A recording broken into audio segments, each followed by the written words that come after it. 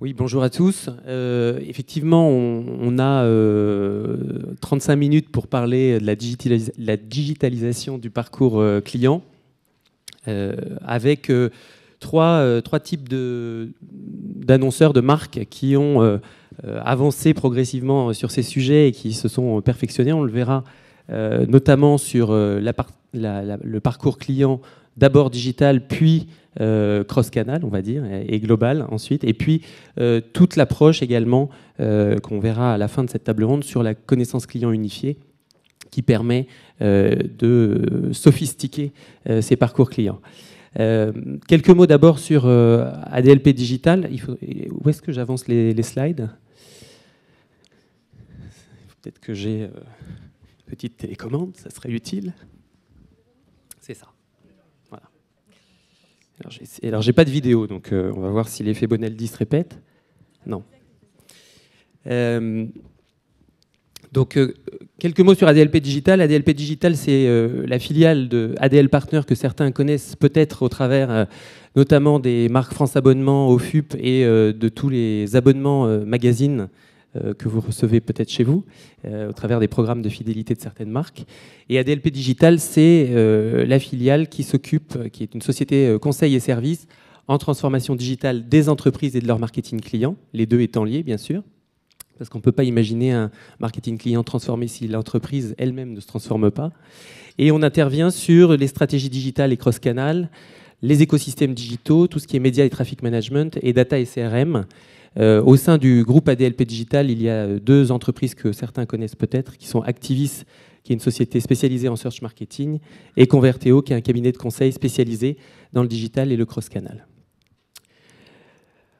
On va commencer euh, donc avec Marie-Frédéric euh, sur Chris. Euh, vous avez créé depuis un, petit moment, et c'est en train de se, se sophistiquer davantage, un parcours digital qui a tendance à se globaliser et qui a pour logique de préparer la visite en magasin et la transformation en magasin.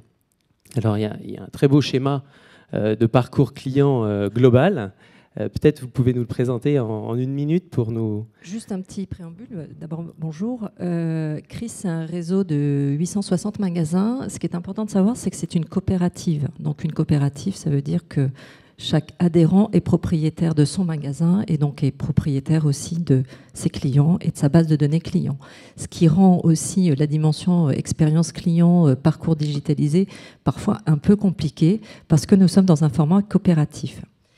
Mais pour autant, nous avons euh, réussi, et ça depuis plusieurs années, puisque Chris a été le premier acteur euh, dans l'optique à lancer euh, un site e-commerce et également vitrine il y a quatre ans et progressivement, brique par brique, nous sommes rentrés dans le digital pour en fait permettre d'avoir un parcours client totalement maîtrisé. Donc, bien évidemment, nous sommes sur les réseaux sociaux avec Facebook, Tumblr, Instagram, Pinterest également. Euh, on cessé, hein, je, le dis, il y, a, des choses qu'on va arrêter, il y a des choses sur lesquelles on va euh, accentuer notre présence. Euh, ces réseaux sont là soit pour mettre en avant le savoir-faire de l'opticien, parce que l'opticien, c'est un professionnel de santé également, et pas qu'un commerçant. certains de ces sites sont utilisés au contraire pour mettre en avant toute la mode, le choix, le style, et donc engager nos clients. Nous avons également euh, développé très fortement, et là c'est il, y a, un an exactement, le Store Locator. Donc 860 magasins et euh, il y avait euh, quelques mini-sites dédiés de nos magasins qui étaient nos magasins les plus geeks et qui avaient pris certaines initiatives. On a décidé de rassembler l'ensemble euh, du store locator dans un lieu qui est le cris.com, de l'harmoniser, de s'assurer et de contrôler qu'il y avait toutes les données importantes pour ben, générer du trafic vers le point de vente, puisque ce store locator est vraiment là pour générer ce trafic vers le point de vente et le faire connaître. Alors comment on l'a fait? Ben, On l'a construit en centrale. On a commencé à le renseigner avec nos adhérents. On l'a boosté en faisant un peu de référencement euh, payant. Et puis là, eh bien, on les appelle tout le temps et on leur dit il faut animer votre store locator, il faut le remplir, il faut le renseigner, il faut le mettre up to date. Et ben, les plus, on va dire, euh, high-tech mandid y vont. Ceux qui ont des équipes peuvent le faire. Puis les autres, progressivement, ils vont. Ben, conclusion, hein, en très, très peu de temps, euh, en arrêtant d'allouer justement des investissements payants sur euh, ce site-là, eh bien, euh, bah, nous arrivons, lorsqu'on fait sur Google opticien plus ville, bah, Chris arrive euh, en numéro un. Et c'est vraiment important et on est dans une démarche, faire comprendre à nos adhérents qu'il y a une zone concurrentielle physique, et ça c'est la première chose à laquelle ils pensent, mais digitale qui est cruciale. Il faut savoir qu'il y a 38% de nos clients qui aujourd'hui passent par le digital avant de se rendre en magasin. Donc le site, c'est réellement euh, un moyen de préparer l'achat avant de se rendre en magasin. Et c'est particulièrement vrai avec euh, le dispositif euh, que vous avez mis en place au travers de Like Me notamment, qui est... Donc sur notre site, on peut acheter de la lentille, mais ça, c'est, je dirais, c'est une commodité qu'on est obligé d'offrir. Et puis on va tout faire pour renvoyer en magasin. Et là, c'est aujourd'hui 77% de nos clients qui vont retirer leurs commandes dans nos magasins donc vraiment euh, Drive to Store. Et nous avons la possibilité d'essayer quasiment toutes nos lunettes avec des modules d'essayage sur notre site, mais également de créer sa propre lunette. Et c'est donc l'ACMI. L'ACMI, c'est euh, la personnalisation, le sur-mesure, créer sa propre lunette. Donc on peut le faire sur un configurateur qui est bien évidemment euh, sur Chris, mais également enfin, sur chris.com en tablette et sur PC. On va le pré-réservé. Puis ensuite, on va se rendre dans le magasin qu'on aura euh, choisi euh, pour aller euh, faire mettre les bons verres. Voilà. Et alors, ça me fait une très bonne transition avec, avec Citadium, c'est-à-dire que vous, par exemple, Anne-Laure, vous travaillez aussi sur cette logique de parcours client sans couture ou d'expérience sans couture, comme vous aimez le dire, puisque c'est dans votre secteur, et, et effectivement sur la préparation euh, en magasin via notamment les outils euh, iPhone, tablette, etc. Euh, pour qu'il y ait une préparation du passage en, magasin. Oui, tout à fait. je vais faire pareil, un petit préambule pour ceux qui ne connaissent pas Stadium. Stadium est un magasin, c'est une enseigne en réseau qui appartient au groupe Printemps. C'est un magasin qu'on aime dire concept store. Vous allez voir quelques, quelques petites photos. En gros, c'est un magasin multimarque, il y a à peu près 250 marques et qui s'est repositionné il y a à peu près 7 ans. Certains d'entre vous connaissent peut-être ce magasin euh, sur, euh, en tant qu'équipementier sportif euh, un peu branché. En fait, depuis 2007, on s'est repositionné 100% sur la mode urbaine à destination d'une cible plutôt jeune, ce qu'on appelle les générations X et Y. Euh, donc cette génération entre, euh, entre 16 et 30 ans. Euh, voilà, donc 250 marques comme je le disais. Et effectivement, en 2012, en septembre 2012, a été lancé le site eShop, donc e-commerce de Citadium. Donc, comme, comme le disait Philippe, la stratégie à l'enseigne, n'en avait rien du tout, n'existait existait assez peu sur le digital. Et effectivement, lorsque nous avons lancé le e-shop, bien entendu, euh, un des premiers buts, c'était de lancer un business incrémental, parce qu'un magasin euh, online fait aussi du chiffre. Mais c'était aussi une base de lancement, une base de développement pour commencer à initier une stratégie, ou en tout cas un écosystème digital global. Pour deux choses, euh, présenter le e-shop comme un maillon clé de la chaîne omnicanal pour effectivement mettre en place un parcours client fluide et qu'on aime dire sans couture, effectivement on va en parler. Et euh, le e-shop également comme, euh, comme une base de lancement pour développer la notoriété euh, de l'enseigne d'un point de vue plus national, parce que Citadium reste une enseigne qui est quand même très connue à Paris, alors que comme vous l'avez peut-être vu sur la première slide, nous avons développé deux magasins récemment, fin, mars à Toulon et fin mai 2014 à Terrasse du Port, donc à Marseille. Voilà. Donc pour revenir sur euh, l'approche du développement omnicanal, effectivement, on a une vision finalement, euh, on va tous dire qu'on l'a tous, cette vision, mais très customer-centric, également très pragmatique. certains d'entre vous n'ont peut-être pas les moyens de développer des effets waouh et des milliers de dispositifs qui permettront euh, de, mettre, enfin de tous les éléments digitaux, la digitalisation très très avancée en magasin, des aspects marketing très forts. Mais donc nous, on a vraiment opté pour un aspect très pragmatique. Et le premier point qu'on a lancé, c'était effectivement le click and collect. Alors pourquoi le click and collect? Je pense qu'on a tout simplement réfléchi à, nos clients. Donc effectivement, nos clients sont jeunes, mais qu'on soit jeune ou pas jeune, on est tous de plus en plus hyper connectés. Il ne s'agit pas d'être geek spécialement. On, a tous, on est tous multiscreen, on est tous multi-device. Donc euh, on a euh, besoin d'avoir... Euh, enfin, on a besoin, nous, marques, enseignes, de répondre très simplement à ce que demandent les clients, qui sont de plus en plus exigeants. C'est-à-dire qu'ils ont besoin d'avoir plus de choix, plus de possibilités, plus de facilité, plus de rapidité. On ne peut pas se permettre de dire un client en magasin, par exemple, euh, quelqu'un qui a acheté en ligne un produit, on ne peut pas se permettre de lui dire Ah ben non, excusez-moi, on ne peut pas accepter votre retour parce qu'en fait, euh, derrière, les infrastructures techniques font que ben, le chiffre d'affaires sera décrémenté de ma commission, etc. Les clients n'ont pas envie d'entendre ça, ils s'en fichent royalement. Donc, euh, d'où l'idée de ce parcours fluide et sans couture. Donc, c'est pour ça que, alors, je veux bien qu'on passe à la slide de click and collect, donc à faire. Euh, donc, on a lancé le site en septembre 2012 et en novembre 2013, parce qu'il faut quand même un peu de temps pour lancer tout ça, nous avons lancé donc le service Click and Collect qui se déploie donc à Comartin, donc dans le premier flagship euh, de l'enseigne, et maintenant qui est déployé dans l'ensemble du réseau. Euh, on a été très très vite satisfait. Donc c'est vraiment du click and collect. Donc c'est pas du pick up in store. Le service consiste à pouvoir acheter en ligne, euh, la préparation se fait à l'entrepôt comme une commande e-commerce classique et on est livré en magasin. La promesse client est assez forte parce que euh, toute commande passée avant 14 heures peut être retirée le lendemain matin en magasin à l'ouverture du magasin à 10 heures. Euh, pour ce click and collect là, effectivement, on est plutôt content parce qu'on arrive très on arrivé très rapidement à un niveau de 10% des commandes web passées en click and collect. Alors effectivement, petit bémol, je parle beaucoup, hein, tu m'arrêtes. Petit bémol, euh, on sait que dans d'autres enseignes, on est passé euh, assez rapidement plutôt à du 20-25%. Euh, d'autres enseignes qui nous ressemblent mais qui sont plus grandes. On a aussi une problématique de réseau, on reste un petit réseau. Et aussi sur le site, euh, nous proposons d'autres modes de livraison gratuits. Et c'est vrai qu'aujourd'hui, en tant qu'un des avantages forts du Click and Collect, c'est la gratuité. Il se trouve que chez nous, petite pub, euh, vous pouvez commander gratuitement via Relais Colis et gratuitement pour toute commande supérieure à 100 euros via Colissimo. Ce qui explique peut-être que finalement, on n'atteint pas des sommets 15-18%. On est déjà très content parce qu'on sait qu'on a vraiment un service fort euh, aux clients. Et ce qui est aussi impressionnant, donc on a, on a regardé par rapport à, à la provenance de nos clients. Donc nous, on a à peu près 50% de notre trafic et de, notre, euh, nos ventes qui sont, qui, se, qui sont issues de clients euh, parisiens ou franciliens.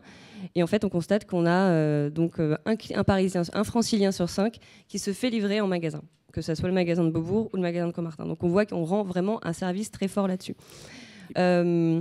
Pour, pour, pour, compléter, parce que tout à l'heure on, est passé un peu rapidement, mais c'est vrai que, alors je ne sais pas Marie-Frédéric quel, quel, chiffre on peut donner, mais c'est vrai que quand on développe ce type de parcours, euh, tout de suite on voit les résultats en point de vente, on voit l'augmentation du trafic, on voit, enfin je ne sais pas jusqu'où vous pouvez euh, donner des chiffres, mais si, euh, je, le disais effectivement rapidement tout à l'heure, notre politique, c'est vraiment euh, développer le trafic vers les magasins. Donc, euh, le click and collect, il, favorise le retrait en magasin. Donc, conclusion, dans notre stratégie commerciale et marketing, eh bien, le retrait en magasin est gratuit. Il se trouve que nous, on a un maillage national où il y a un magasin à moins de 30 km d'un foyer français. Euh, et pour nous, c'est d'autant plus important, c'est que derrière la livraison du produit, il y a tout un accompagnement d'un discours sur le soin, sur la santé, parce que c'est pas anodin que se mettre une lentille, et c'est vraiment ce qui va faire notre différence par rapport à des pure players. Donc c'est ce qu'on veut privilégier.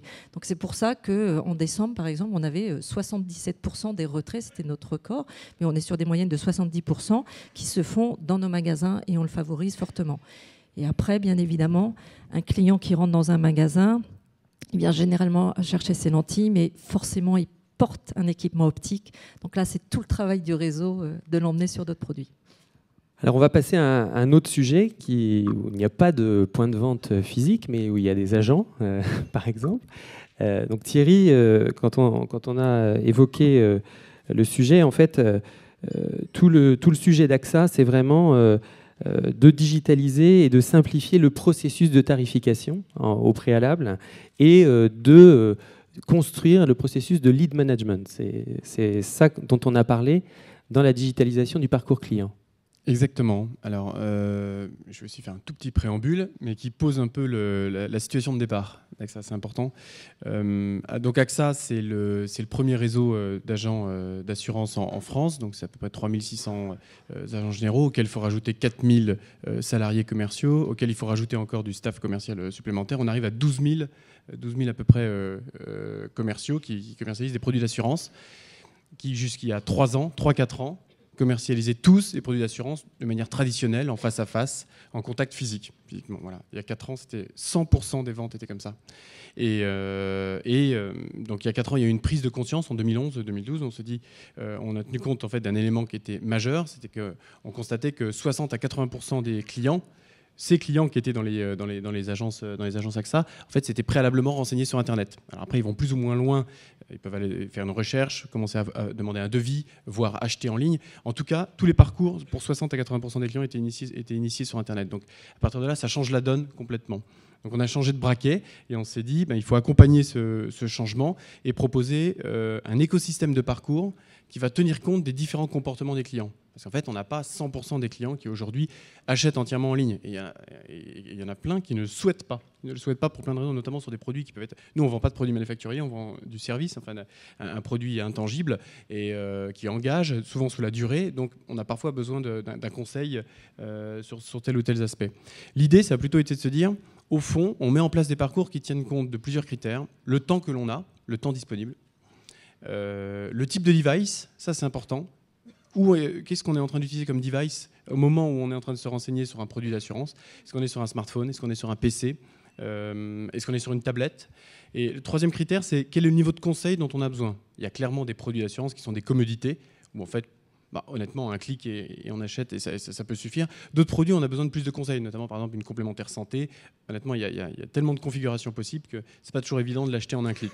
Donc, en fonction de ces trois critères, on a établi différents parcours. Hein. Donc là, on voit une illustration. Par exemple, là, pour l'auto, euh, quelqu'un qui a vraiment pas de temps, qui n'a pas envie de, s'embêter à donner des renseignements, qui a même pas sa carte grise, euh, par exemple, sous, les yeux, il va prendre le premier parcours. 30 secondes, je demande à être rappelé, euh, je donne deux, deux infos minimes et on me rappelle, on me rappelle immédiatement.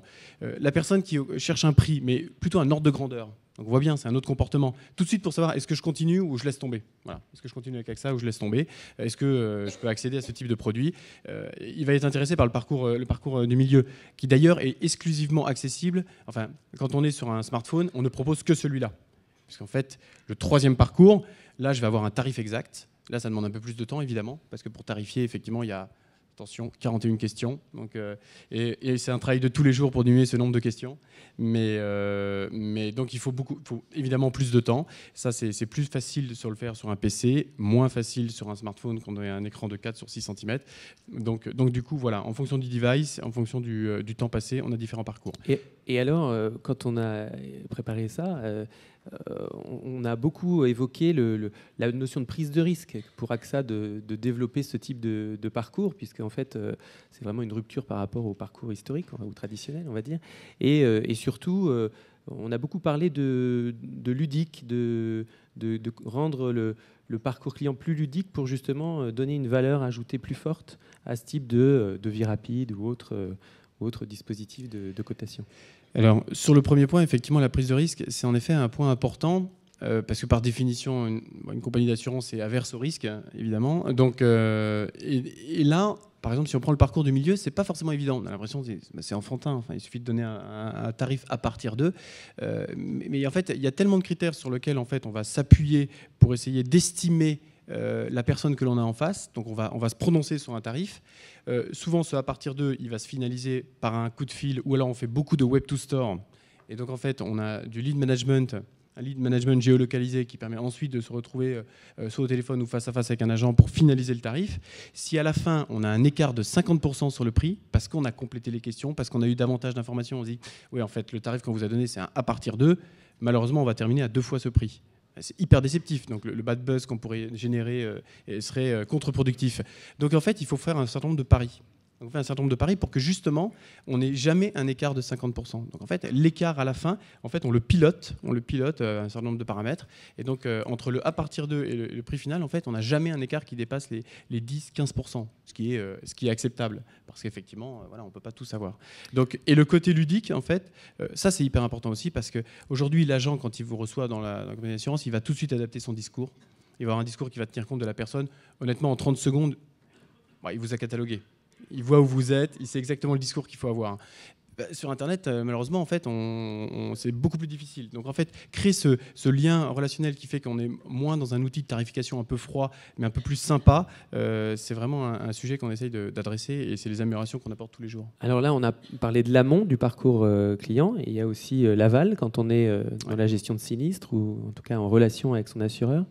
Oui, alors justement, pour le, pour le client, ce qu'on a essayé d'apporter, et ça c'est opérationnel depuis le, second semestre, fin du second semestre 2014, on a, on a mis en place en fait une digitalisation 100% de la gestion du sinistre auto. Donc en fait, on passe d'un système où euh, il faut aller voir son agent, déclarer son sinistre, à là on peut tout faire en ligne depuis son smartphone. Depuis euh, la déclaration du constat, en s'appuyant sur l'opération de place qui a été initiée avec d'autres assureurs qui s'appelle le e-constat, jusqu'à la, voilà, la, la prise en charge des réparations. Tout ça se fait maintenant en maximum 10 à 15 minutes, en and done, c'est-à-dire qu'en une fois. Il n'y a pas de rappel derrière, il n'y a pas de coup de fil à repasser, il n'y a pas de pièce justificatif. On n'envoie plus son constat, c'est comme la déclaration en ligne des impôts, c'est-à-dire qu'on on tient les, pièces à disposition de la compagnie, mais on n'a pas besoin de les envoyer. C'est une vraie révolution. enfin, là, aujourd'hui, toutes les autres compagnies d'assurance exigent le constat, il faut l'envoyer par la poste dans les 5 jours plus du tout, nous. Et Donc là, c'est un vrai pari parce qu'on change totalement le process. C'est tout nouveau, mais il y a mm. déjà des résultats. Euh, Alors, euh, c'est en place depuis deux mois, et aujourd'hui, on est déjà à un rythme de à peu près 5 euh, sinistres par jour.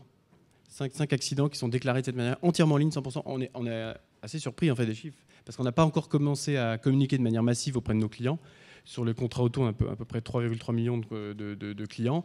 Euh, on n'a pas commencé. Donc c'est uniquement par le bouche à oreille. C'est les gens qui, en fait, ont découvert dans l'application AXA qu'il y avait cette nouvelle fonctionnalité, qui ont cliqué dessus.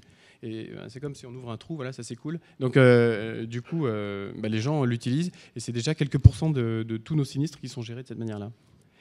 Ce qui est assez intéressant, je veux dire, l'avantage, c'est que certes, pour le client, on digitalise, mais c'est hyper vertueux d'un point de vue interne parce qu'en fait, on, normalise nos process. Alors ça, c'est un point que tous les trois vous avez évoqué, c'est le digital comme euh, moyen de euh, d'embarquer euh, soit la force de vente, soit l'interne, soit le réseau, et avec les premiers résultats finalement de ces parcours clients digitalisés et des impacts très positifs. Adlor, par exemple, chez les vendeurs de Citadium, oui, en effet, on sait que quand on commence à développer un, une version, enfin, un e-commerce dans un réseau boutique, euh, quel qu'il soit, mais en l'occurrence dans le prêt-à-porter, euh, on a toujours une réticence de la force de vente au démarrage. Une réticence assez forte que, j'ai ressentie. C'est-à-dire, je me baladais dans les couloirs et j'avais l'impression d'être vraiment le diable euh, dans les couloirs du magasin parce que j'étais celle qui allait piquer le stock et les ventes des vendeurs. Et en fait, on s'est rendu compte justement grâce au développement de ces parcours euh, cross-device, les vendeurs eux-mêmes, il y, a eu des formations, des explications, de la sensibilisation, mais les vendeurs eux-mêmes se sont rendus compte que le e-shop, comme on le disait tout à l'heure, leur apporte du trafic, leur apporte des visites. Un truc très simple, on, voyait tout à l'heure euh, la, slide sur le mobile de Citadium, on a donc lancé une version mobile du site en juillet 2013. Est à peu près une dizaine de pourcents du trafic sur mobile. Ça n'a cessé d'augmenter et aujourd'hui sur smartphone, on est à, sur les trois derniers mois, on est à 27%, et sur le mois de janvier, on est à 30% du trafic uniquement sur smartphone. Effectivement, la transfo suit un petit peu, mais pas autant, et on sait très bien que le smartphone, il est utilisé le matin, il est utilisé le soir, il est utilisé aussi pour venir en magasin. Et de plus en plus se développe cette pratique qui est de, le fameux web to store. Le client arrive et il dit bonjour, moi je veux ce produit-là, où est-ce qu'il est? Ça participe aussi euh, à, ces nouvelles tendances de consommation finalement, de plus en plus, certaines personnes ont moins le temps, moins envie de s'embêter. Ils ont déjà euh, euh showroomé, entre guillemets, euh, sur leur canapé en regardant ce qu'ils voulaient. donc, ils arrivent en magasin, ils veulent pas perdre de temps, ils savent normalement que le produit est disponible. Voilà. Donc, cette approche-là, liée au mobile, donc liée au e-commerce, font que les vendeurs ont compris finalement que c'était hyper vertueux, qu'il y avait des vraies synergies et aujourd'hui, on voit et on assiste vraiment à des vendeurs qui euh, jouent vraiment le jeu. Ah ben, j'ai plus le produit dans mon corner, ben, on va regarder sur le site, etc. Et ce qui fait qu'on a commencé à développer euh, dans les magasins du Sud l'installation de, de, de tablettes, tout simplement, iPad, pour faciliter, euh, pour qu'en magasin même, on puisse commander en ligne son produit et euh, être livré soit chez soi, soit en click and collect. Voilà. Et, je, crois que chez, chez, Chris, c'est pareil, le réseau est extrêmement attentif à tout ce qui se passe en digitalisation du parcours client et, alors le, réseau euh, est attentif. Ils ont, on, est dans un métier où on va passer 45 euh, minutes avec son client. Hein.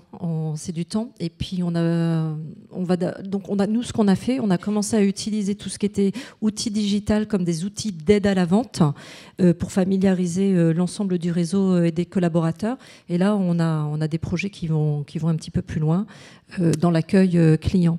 moi je rajouterais un point, c'est que faire ce parcours euh, client digital, ça veut dire qu'il faut que l'entreprise soit totalement, c'est ce qu'on disait, orientée client. Et quand on est dans le retail, on est très orienté magasin quand même. Donc c'est une vraie démarche d'entreprise, euh, de sa présidence, de sa direction générale. Sinon, c'est vrai que ça peut être très compliqué à mettre en œuvre. Et je pense qu'une deuxième clé de succès, c'est de tester c'est de prouver que ça fonctionne ou pas, et de montrer que ça fonctionne, et ça permet d'aller un cran plus loin dans la digitalisation au global de ce parcours client. Alors justement, et demain, euh, parce qu'on a, on a parlé de ça, et c'est vrai que à des niveaux de maturité différents, euh, on est euh, aujourd'hui, enfin vous êtes aujourd'hui en train de réfléchir sur la connaissance client unifiée. Alors j'ai pris le, schéma le plus avancé qui est celui d'AXA, mais tous les trois vous m'en avez parlé, même si c'est embryonnaire pour certains. Mais peut-être Thierry, tu pouvais nous présenter la partie technique. Voilà. Euh, oui, parce qu'en fait, là, on a parlé jusqu'à maintenant des, parcours, donc qui permettent effectivement de, flécher euh, le comportement des clients et de les emmener, euh, pour nous, en fait, dans une majorité des cas, en Web to Store. D'accord? Donc ensuite, on a, la vente. mais avant même qu'ils soient sur nos parcours, il faut déjà, effectivement, qu'on les amène sur nos, sites, sur nos sites internet ou sur notre store locator. voilà. Et pour faire ça, on ne peut pas les amener à n'importe quel coût. On ne peut pas les amener à n'importe quel coup, il faut pouvoir piloter ces coups. Et ensuite, une fois qu'ils sont sur le parcours, il faut pouvoir, comme je l'ai dit, essayer de personnaliser le plus possible euh, nos parcours en tenant compte de qui est la personne. Encore une fois, ce qu'on essaye de faire, c'est ce que font nos agents depuis, depuis 120 ans à peu près. Donc c'est-à-dire qu'en fait, euh, voilà, en une minute, ils arrivent à savoir de, qui, qui il s'agit. Et s'ils ont des taux de transformation, il faut savoir qu'en agence, le taux de transformation, il est de 40 à 45%. C'est gigantesque. On n'a jamais ces taux de transformation sur Internet. Et donc, euh, donc c'est, l'ambition, néanmoins, c'est quand même de, les faire progresser. Et donc, nous, voilà, on, est, on, a, engagé la mise en place d'un DMP. Bon, ça, commence à être assez classique comme, euh, type de démarche pour, euh, pour être plus pertinent, plus pertinent dans notre achat média notre achat média. On n'achète pas à n'importe quel coup. Et ensuite, dans la personnalisation de nos parcours. Donc, on, lie en fait l'identité virtuelle avec l'identité physique dès qu'on le peut. Et, et, en fait, ça donne plein de marge de manœuvre supplémentaires. Jusqu'ici, en fait, on avait soit la connaissance client, donc ce qui était dans nos bases de données CRM, somme toute, c'est assez limité, Parfois, on ne sait pas combien il y a d'enfants dans le foyer. Parfois, on ne sait pas euh, euh, si effectivement euh, la personne est mariée ou pas. En effet, pour souscrire une assurance auto, on n'est pas obligé de dire qu'on est marié. Donc, eh ben, voilà, quand une personne est allée sur différents sites et qu'ensuite on s'appuie sur un DMP, eh ben, cette personne, quand elle arrive sur AXA.fr, on peut récupérer l'information qu'effectivement, bah, il s'agit plutôt d'une famille, d'une famille avec enfants. Et donc, du coup, on ne propose pas la même chose sur notre site. Donc, c'est déjà le cas aujourd'hui. Si vous allez sur notre site AXA.fr mobile, il est déjà personnalisé. Si vous êtes à plusieurs, si vous n'êtes pas dans la même tranche d'âge, si vous n'êtes pas dans le même, euh, la même CSP, eh bien en fait, vous n'allez pas voir la même chose sur le site. Donc on commence, c'est du test and learn, je, je, rejoins tout à fait. Euh, on apprend, euh, mais on constate déjà en fait des, augmentations de taux de transformation. C'est-à-dire typiquement, par exemple, il y a certains produits où il faut qu'on cible plutôt des seniors. Eh bien en fait, on a déjà progressé de 5 à 10 points dans, le, trafic senior que l'on obtient aujourd'hui sur nos sites par rapport à la situation d'avant. En fait, c'est assez époustouflant, ça marche bien. Et Marie-Frédéric, euh, chez Chris, vous êtes aussi sur des réflexions de, ce type euh, oui, alors on est moins avancé, mais on est bien avancé. Donc c'est en cours. Euh, gros, gros travaux sur la connaissance client, sur le CRM, sur l'expérience client dans un parcours client. Tout ça pour arriver à de la personnalisation et, derrière à du, ROI, hein, parce que c'est Et avec un peu le même type de sujet, de regrouper les familles, d'essayer d'avoir des informations sur les membres du foyer, etc. Ah, exactement. Alors on a la chance, mais peut-être euh, comme dans le monde de l'assurance, euh, c'est qu'on a pas mal de données euh, sur les clients. maintenant, c'est de les regrouper de façon intelligente, d'en créer voilà, des clusters, de, de, savoir les animer, surtout les animer, parce que c'est pas un travail qu'on fait une fois, c'est quelque chose qu'on suit dans la durée, et puis ensuite qu'on va tester auprès des dispositifs qu'on va pouvoir mettre en place. Donc c'est en cours. Voilà. Et Anne-Laure aussi, c'est en réflexion. Euh. Alors oui, il y a deux choses. Effectivement, pour parler de la personnalisation, nous donc on travaille sur une plateforme, euh, la plateforme e-commerce qui s'appelle Ibris, sur laquelle on a plugué une console de merchandising qui s'appelle Sparko. effectivement, je reprends ce que vous disiez sur la partie personnalisation des parcours euh, live. En fait, on est en train d'essayer, enfin de mettre en place pour tester la personnalisation des parcours en temps réel, c'est-à-dire euh, en fonction de son référeur, c'est-à-dire de son site de provenance, de ce qu'il est en train de regarder sur le site, de ce qu'il a mis dans son panier, de son panier moyen. C'est pousser, c'est un mini Amazon, hein, c'est pousser euh, de la recommandation produit ou des éléments de réassurance qui vont inciter le client à, mieux transformer, à mieux acheter. Donc ça, on ne peut pas parler purement de CRM, mais c'est vraiment de la personnalisation. Par contre, sur la partie CRM, effectivement, on avance aussi doucement. Euh, aujourd'hui, enfin jusqu'en 2012, euh, le Citadium ne collectait pas de la data du tout en magasin.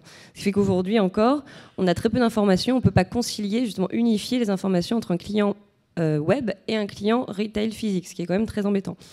Mais en tout cas, euh, dans un premier temps, forcément, on anime depuis donc, le lancement du site, euh, comme beaucoup d'entre vous doivent le faire, euh, donc on anime commercialement la base de données clients avec un welcome pack, une animation, enfin du repeat business au niveau de l'emailing. Et on commence petit à petit, depuis quelques mois, à faire de la collecte data, parce qu'on sait que faire de la collecte en magasin, de la saisie, ça demande aussi des investissements. En parenthèse, on vient de changer notre système d'encaissement, donc ça va nous aider aussi à optimiser, euh, enfin faciliter la saisie euh, magasin. Mais on fait de la collecte de données un peu basico-basique, c'est-à-dire euh, sur des coupons papier qu'on fait saisir et qu'on qu'on merge en fait effectivement dans un data mart aujourd'hui pour pouvoir augmenter cette connaissance client. Donc je dirais que ce qu'il faut, c'est que même quand euh, y a, en fait, le web, c'est une histoire d'arbitrage. Effectivement, comme vous le disiez, il faut avoir un gros sponsoring derrière. En tout cas, il faut quand même avancer, lotir ce projet petit à petit pour pas stagner, parce que euh, il y a une évolution évidente euh, de nos modes de consommation et on ne peut pas attendre un an, deux ans avant de commencer à espérer faire un énorme programme CRM. Je pense qu'il faut vraiment avancer, essayer, avancer euh, petit à petit. Voilà. Merci beaucoup. Je crois que c'est l'heure de passer au networking, non? C'est pas ça? Avec. Euh, euh, dans les temps, j'ai tellement l'habitude qu'on dépasse que du coup. Ah ouais, euh, non. Bravo. Ah non. Philippe, je, pense que nos trois panélistes plus Philippe méritent, méritent des applaudissements pour avoir tenu les temps.